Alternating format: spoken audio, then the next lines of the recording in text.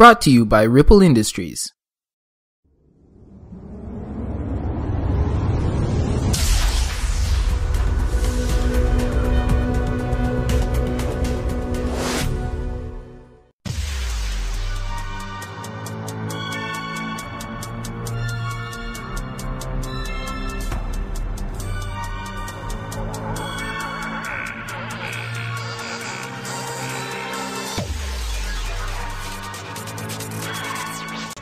So in terms of the direction of MagFed, I think we're at an age where everything is going to become more realistic.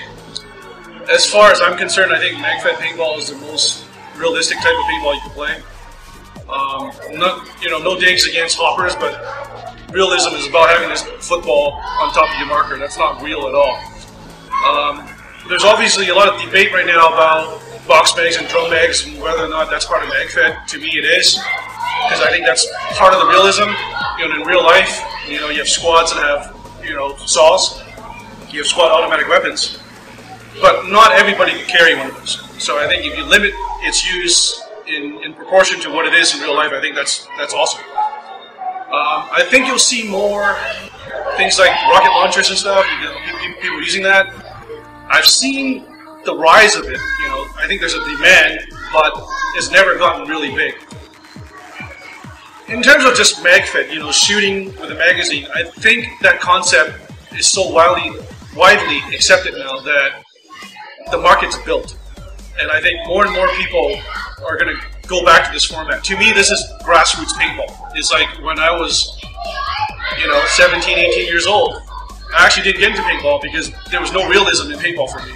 You know, there was bunch of guys in neon jerseys and space guns that never appealed to me. I'm actually an ex-airsoft guy, and I think what I bring to to MagFed is that extra level of realism.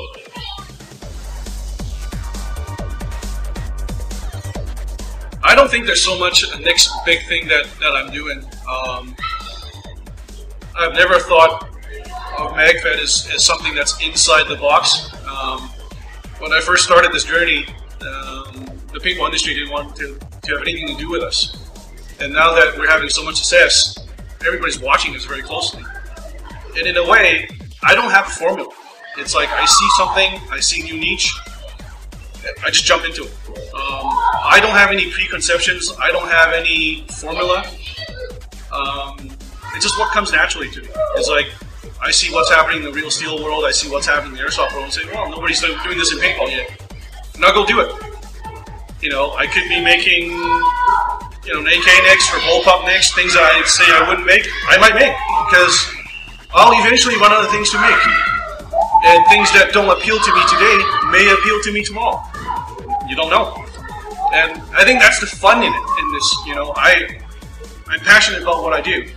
So when an idea to me that, that is not so cool to me at first will will slowly pull me into into it.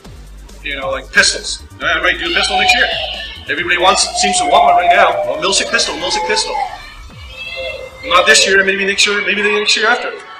Don't know. Um, like I said, there's there's really no formula in how I plan my products and what I do. It's just I change according to the market. The market's changing, I'll change and adapt to it, and that's it.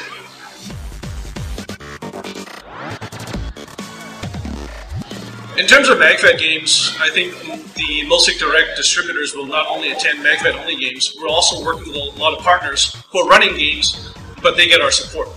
So even though we might not physically be there, we're going to support it. And uh, I know for a fact that Doug in the States are going to a couple of really big um, non-MagFed games. But I think our products now don't only attract people that play MagFed. And um, I think overall, all three distributors added together, you're going to see us attend almost 30 games, if not more. So we will make our presence felt. I think, you know, the MILSIG business has shaped me as a person.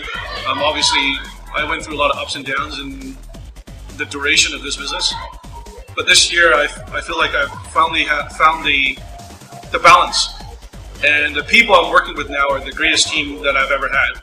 And it's actually more enjoyable for me. You know, it is a business, but I actually have a lot of fun doing it.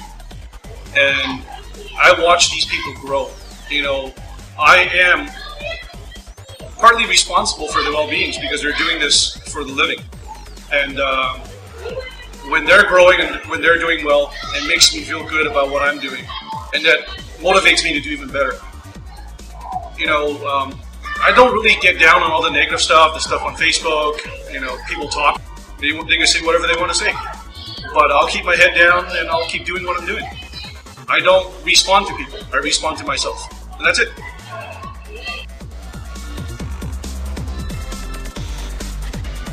product development and manufacturing is actually a living animal. Um, there are challenges to it from every day.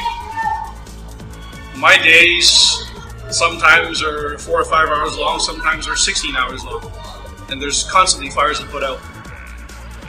I would not say there's a problem with product development. There's no single problem. There's just problems that overlap. And I've gotten used, so used to dealing with it. It's just water off a duck's back. I don't really fret on it.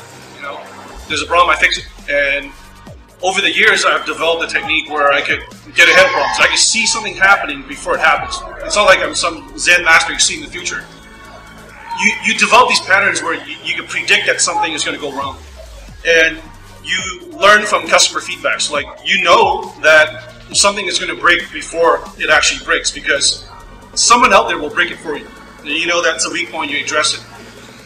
And I think over the course of running this company, we have learned that it is very important to constantly update and improve the product. Like it's, you know, other companies get into generation this, generation that, mod one, mod two, mod three. It's all BS.